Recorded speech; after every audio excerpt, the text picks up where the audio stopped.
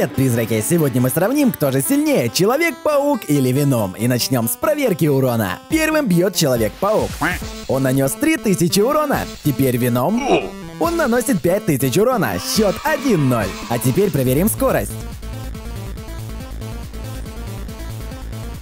Окей, следующий Веном.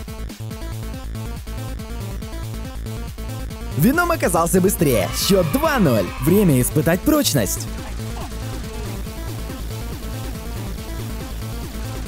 Неплохо, теперь вином.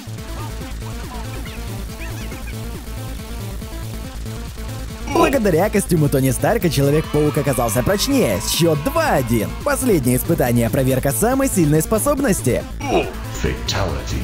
Теперь вином.